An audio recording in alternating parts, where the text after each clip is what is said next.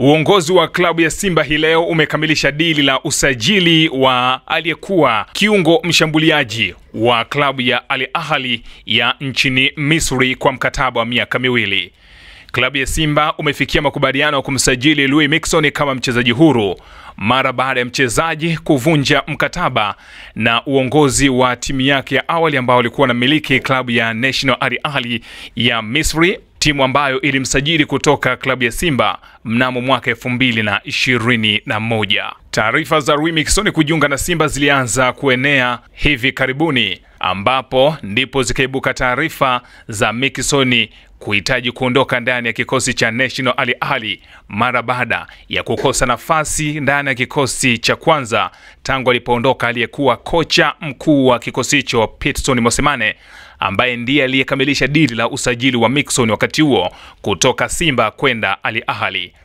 Kabla ya kutua hii leo kwa mara nyingine kurejea ndani ya kikosi cha Simba, Ali Ahly walishawahi kumtoa na kumpeleka katika klabu ya Saudia ya kule nchini Saudi Arabia ambapo alidumu katika msimu mmoja kisha akarejea ndani ya kikosi cha ali ahli na kwa kipindi chote tangu alipotoka ndani ya kikosi cha Saudia kwa mkopo ambapo alikuwa amepelekwa na ali ahli Louis Mixon hakuwa na nafasi ya kuanza katika kikosi cha kwanza cha Ali Ali. Kwa muda wote alikuwa ni mtu wa kukaa benchi mpaka anafikia makubaliano ya kuvunja mkataba na kikosi cha Ali Ali ili aende akatafute nafasi ya kucheza katika timu nyingine. Ndipo taarifa na fununu zilipoanza kuenea kwamba mabosi wa Simba wanaiwinda saini yake, na hivyo hii leo basi dili hilo limekamilika na Luis Jose Miquissone amesaini mkataba wa miaka miwili kukitumikia kikosi cha wekundu wa Msimbazi Simba ambacho kimeweka kambi yake nchini Uturuki kwa maandalizi ya msimu mpya wa ligi kuu Tanzania bara